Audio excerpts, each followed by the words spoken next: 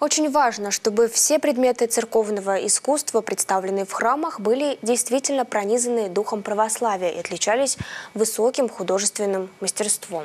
художественной галерее Одесского свято-архангела Михайловского женского монастыря проходит выставка «Зримое искусство веры», на которой представлены работы преподавателей и учащихся молодого иконописного отделения Одесской духовной семинарии.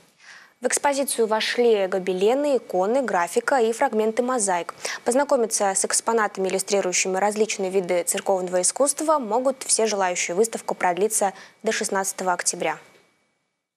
Выставка «Зримое искусство веры», открывшаяся 4 сентября в художественной галерее в Одесском Свято-Архангело-Михайловском женском монастыре, приурочена к Дню рождения Одессы, а также к началу нового учебного года. В экспозиции выставки работы учащих и учащихся иконописного отделения Одесской духовной семинарии, территориально расположенного в центре Одессы в Свято-Михайловском женском монастыре. Руководит отделением матушка Таисия или Эсфирь Наумовна Серпионова, заслуженный художник Украины, кандидат педагогических наук, доцент. Матушка Таисия э, является признанным педагогом. Она внесла большой вклад в развитие педагогической мысли, издавая свои учебники, пособия и обучая своих птенцов на строго научной основе тем азам, тем секретам, в частности, иконописного творчества, которые во многом были утрачены за годы советской власти.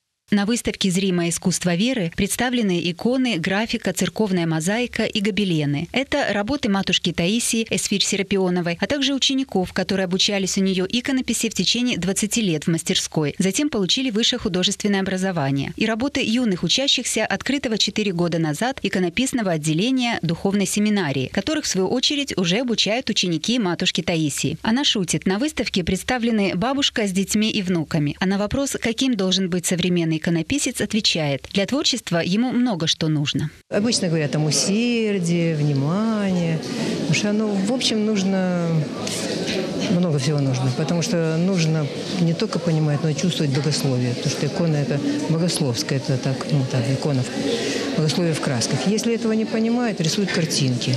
Но икону даже с полным пониманием нужно сделать э, очень не только грамотно, но и художественно. Для того, чтобы подготовить грамотных и духовно настроенных художников для церкви, работающих в различных жанрах, необходимых для создания благолепия храмов, трехгодичное обучение иконописи в семинарии продлили. С прошлого года учащиеся еще один семестр постигают каноны стенной росписи и мозаики.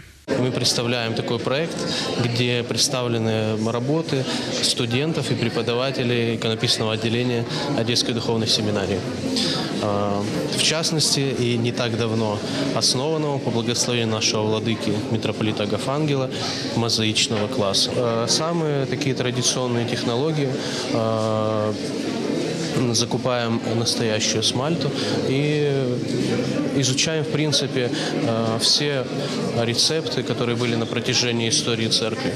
Э, это касается грунтов, растворов и самого материала набора.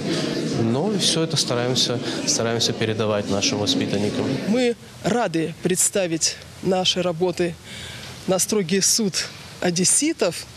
Я думаю, что все, кто смогут посетить эту выставку, поймут, что православное искусство, церковное искусство может быть масштабным, очень глубоким и, безусловно, прекрасным.